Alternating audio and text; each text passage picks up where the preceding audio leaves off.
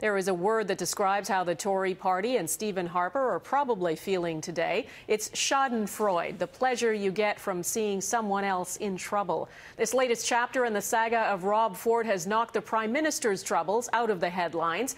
But Harper isn't off the hook. Jacques Bourbeau is at the Conservative convention for us tonight. Jacques? Donna, Prime Minister Stephen Harper is now in Calgary among friends, an estimated 3,000 Conservative delegates. But those friends have some tough questions about their own party's role in the Senate scandal. From across the country, Conservatives are gathering in Calgary, and they'd like to talk about issues dear to their heart balancing budgets, rewriting the Firearms Act, restricting the power of unions. But they know overshadowing everything is the Senate scandal, a mess that threatens to dominate this convention. Unfortunately, we've got some dirty laundry. It's hanging out there. We tried to our best to, you know, deal with it. It's come out more in the open. Just be upfront about it and say, hey, we've got to deal with it. It's very frustrating to see that kind of hit when we have, you know, we've provided a good government for the last however many years. A dozen blocks away, a day long conference was being held on the future of the Senate.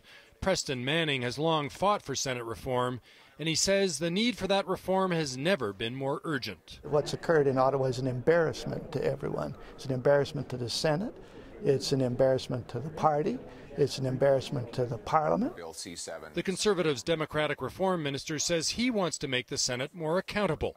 But if that's not possible, abolition is the only other option. Seven provinces representing 50% of the population have the power to pursue abolition, and uh, they would, and we would not stand in their way.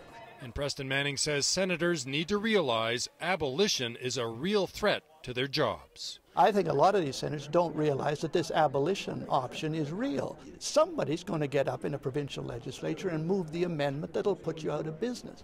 This is a policy convention, and the Conservatives will be debating all kinds of proposals, from ending supply management to making the tax system less progressive. But the one thing not on the official agenda is what to do with the Senate. Donna? Jacques, thanks.